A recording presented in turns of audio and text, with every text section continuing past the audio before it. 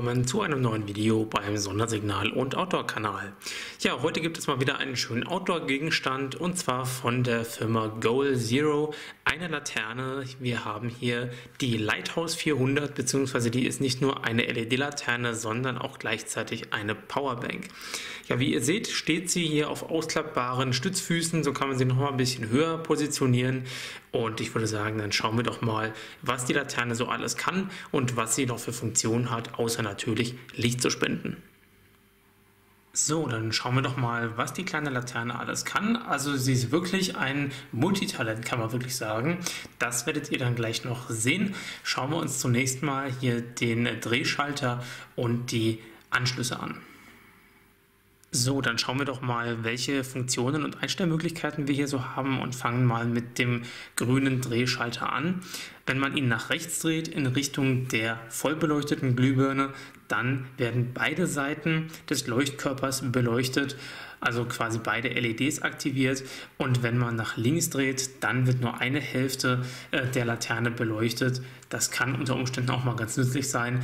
Und hinzu kommt noch, je weiter man den Drehschalter in die entsprechende Richtung dreht, ist hier auch noch einmal signalisiert durch diesen Bogen, der hier jeweils verläuft und dann äh, je weiter man nach unten dreht, äh, stärker wird, desto heller wird die Laterne auch. Das bedeutet, wir haben hier eine Dimmfunktion, sie kann voll beleuchtet werden, kann aber auch nur halbseitig beleuchtet werden. Also das ist schon mal eine super Sache. Ich hatte ja schon erwähnt, dass diese Laterne auch gleichzeitig eine Powerbank ist und etwaige Geräte, die zu laden sind, kann man an diesen USB-Anschluss hier anschließen. Dann wird mit bis zu 1,5 Ampere geladen und somit hat man auch eine praktische Lademöglichkeit für unterwegs.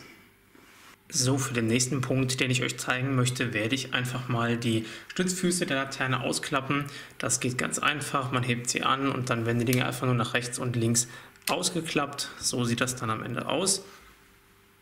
So, ihr seht hier über dem Ein- und Ausschalter den USB-Stecker mit grünem Kabel. Das Ganze verläuft hier einmal um die Laterne herum. Über diesen Stecker und das Kabel wird der integrierte Akku geladen. Dazu wird der USB-Stecker einfach hier rausgenommen aus dieser Öffnung und das Kabel einmal abgewickelt. So ist das Ganze von der Länge her. Also das ist jetzt relativ kurz, aber es dürfte eigentlich reichen. Und damit kann man dann den integrierten Akku laden. Ja, bevor ich die Laterne gleich einschalte und euch die Funktionen zeige, schauen wir gerade nochmal auf das Datenblatt und äh, sehen uns mal die wichtigsten technischen Details nochmal genauer an. Wir haben hier bei dem Thema Leuchtdauer der Lampe oder der Laterne, ist natürlich immer ein wichtiges Thema, wie lange kann ein akkubetriebenes Gerät durchhalten. Da haben wir eine Leuchtdauer mit halbseitiger Beleuchtung auf der Stufe Low für 48 Stunden und High bis zu 6 Stunden. Ist die Laterne beidseitig beleuchtet und in der Stufe Low, dann geht das Ganze für 24 Stunden und in der Stufe High für 2,5 Stunden. Eine weitere wichtige Information, finde ich zumindest, ist die Helligkeit. Wie hell ist diese Laterne? Und hier ist sogar auch die Art der LEDs angegeben. Wir haben hier zwei 3 Watt LEDs, die warm-weiß leuchten mit einer Farbtemperatur von 3500 K und das Ganze dann mit maximal 400 Lumen. Auch ganz interessant zu wissen, was für eine Kapazität hat der eingebaute Akku? In dem Fall haben wir hier 4400 mAh zur Verfügung, um sie entweder komplett für die Beleuchtung der Laterne zu nutzen oder natürlich, wie schon gesagt, auch als eine Art Powerbank und Stromversorgung für mobile Geräte. So, dann würde ich sagen, schalten wir die Laterne doch mal ein. Dafür werde ich es hier gleich noch mal ein wenig abdunkeln und dann zeige ich euch noch eine sehr praktische und nützliche Funktion. So, dann legen wir doch mal los. Ich drehe den Ein-Ausschalter erstmal nach rechts. Das heißt, wir haben dann volle beidseitige Beleuchtung.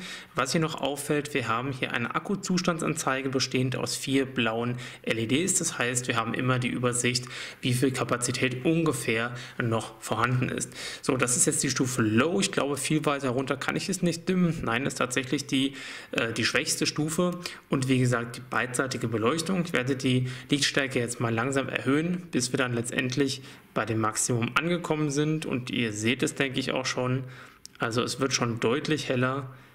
Und jetzt sind wir mit beidseitiger Beleuchtung auf Vollpower sozusagen. So, dann werde ich das Licht einmal wieder herunterdimmen, bis die Laterne letztendlich wieder komplett ausgeschaltet ist. Also jetzt und dann drehen wir einmal nach links und aktivieren die halbseitige Beleuchtung. Da werde ich euch auch gleich nochmal eine andere Ansicht zeigen, denn aktuell sieht es glaube ich genauso aus wie eben, als wäre die Laterne voll beleuchtet, was aber nicht der Fall ist. So, ich habe die Laterne jetzt einmal ein bisschen anders positioniert, damit ihr auch gut sehen könnt, dass wir hier quasi äh, den Leuchtkörper in der Mitte haben, der aber in zwei Hälften unterteilt ist. Und wenn ich jetzt den Ein-Ausschalter einmal nach links drehe, dann wird nur eine Seite beleuchtet und ich denke, so kann man es auch ganz gut sehen. Die in dem Fall jetzt rechte Hälfte wird beleuchtet, die linke nicht. Dann drehen wir das Licht jetzt einmal ganz auf. Und so sieht die Laterne dann halbseitig beleuchtet aus. Ich werde das Ganze gerade nochmal drehen. Dann seht ihr nochmal, dass es so den Eindruck macht, als wäre die Laterne beidseitig voll am Leuchten. Dann haben wir hier nochmal die Seitenansicht und dann hier quasi die Rückansicht. Also hier sieht man jetzt die Seite, die nicht beleuchtet ist. Das kann durchaus auch mal ganz hilfreich sein. So, eine Taste habe ich noch nicht erklärt und zwar dieses kleine rote Dreieck, das hier unten zu sehen ist. Das hat mit den roten Abdeckungen hier oben zu tun. Und zwar haben wir hier so eine Art äh, Notsignalgeber, Notleuchte, um auf sich aufmerksam zu machen. Ich denke zumindest, dass es dafür vorgesehen ist. Und wenn ich diese Taste jetzt einmal aktiviere, dann sieht das Ganze so aus, also quasi ein Rotationseffekt, der jetzt hier oben an der Lampe, an der Laterne wiedergegeben wird. Ja, ist jetzt nicht ultra hell, aber ja, ist doch eine ganz nette Funktion. Praktischerweise haben wir hier an der Laterne auch einen Griff, den kann man hier einfach seitlich aufklappen und dann kann man sie eben so tragen und ja, hat dann eine etwas bequemere Art, die Laterne zu tragen. Natürlich kann man sie theoretisch auch kopfüber halten und an den Stützfüßen hier unten tragen, aber das muss dann nicht unbedingt sein.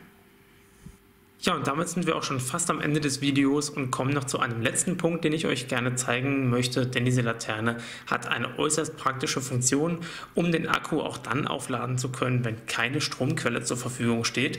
Und zwar hat es der ein oder andere vielleicht schon entdeckt. Wir haben hier oben einen Hebel, nenne ich es mal, oder einen Griff und damit können wir jetzt Strom erzeugen, indem wir hier einfach drehen. Das werde ich euch gerade mal zeigen. Am besten hält man die Laterne hier unten so fest Und so wird dann Strom erzeugt. Ihr seht, die blauen LEDs sind auch angegangen, jetzt sind sie gerade wieder ausgegangen. Ich werde es gerade nochmal zeigen, da reicht es auch, wenn man hier so ein bisschen dreht. Und ihr seht, die letzte LED rechts, die vierte, die blinkt. Das heißt, es findet ein Ladevorgang statt. Natürlich ist das jetzt so nicht gerade sehr sinnvoll. Normalerweise macht man das so. Aber um euch das zeigen zu können mit den LEDs, habe ich jetzt gerade mal per Hand so ein bisschen hier oben rumgedreht.